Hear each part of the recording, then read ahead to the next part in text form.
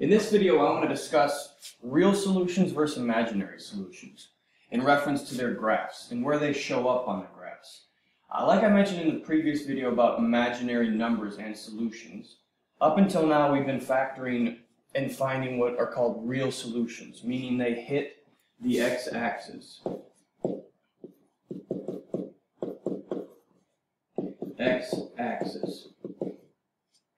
Now, imaginary solutions still exist, and that's what we're going to begin solving quadratic functions that will end up having imaginary solutions. These do not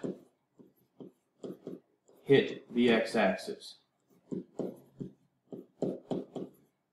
So that's why names like roots, zeros, and solutions exist, and x-intercepts, but only these real solutions can be considered x-intercepts because they cross the x-axis. These are not x-intercepts.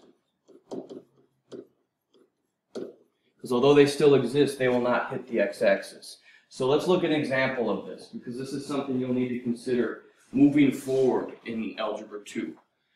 The first example, x squared plus 4. And I'm actually going to, this is technically solving a quadratic function using the square root method, which you're going to learn about in just a, a few videos.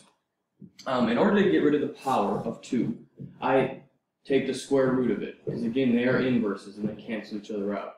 Whatever I do to one side, and again, taking the square root, I would have noticed that uh, the isolated quadratic term is by itself, and 4 jumps out at me as a perfect square, so potentially I could take the square root to solve it. So if I take the square root of one side, I have to do it to the other side. So the radical and the power cancel each other out, and I'm left with x equals, just like I talked about in the video before this, it has two solutions whenever I take the square root. The positive and negative version of the square root of 4 is 2. So x equals 2 and x equals negative 2. Now, if I plot this on the graph, x equals 2 and x equals negative 2. They actually show up on the graph because 2 is a real number, meaning it is a real solution, meaning it is indeed an x-intercept. Both of them, positive 2 and negative 2. And I can finish drawing a rough sketch of this graph. Just like that. Now, let's look at the next example, number 2.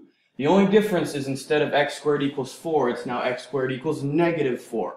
So if I solve this using the square root method, you'll hopefully notice that you're going to end up taking the square root of a negative number, which means that you're going to enter into the realm of imaginary numbers. So again, the radical and the power cancel each other out, so x equals the positive and negative version of 2, but again, you need to have i, because whenever you take the square root of a negative, you need to have i to tell me that you know that you're entering into the realm of imaginary numbers. And in this case, we won't necessarily graph imaginary solutions or draw the graphs of this, and potentially in Module 4 a little bit.